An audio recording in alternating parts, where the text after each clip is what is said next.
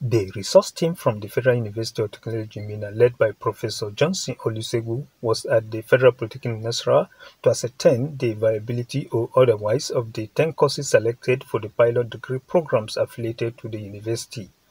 Professor Olusegun charged the management of the Polytechnic to see the desire to undertake degree program as a challenge to excel in both theoretical and technical education for the good of the nation that is currently facing economic meltdown. The of the Polytechnic, Dr. Abdullahi Alhassan Ahmed, noted that with the last visitation panel of the National Board for Technical Education, the selected courses are up to date in terms of personnel and facilities for interim approval of the said courses. Registrar of the school, Dr. Manur Ahmed, gave overview of the courses for the scrutiny by the team. The panel's inspection continues in the 10 faculties before recommendation to National University Commission for interim approval. From the Federal Polytechnic Nasarawa, Ahmed Ondas Ahmed, NTA News.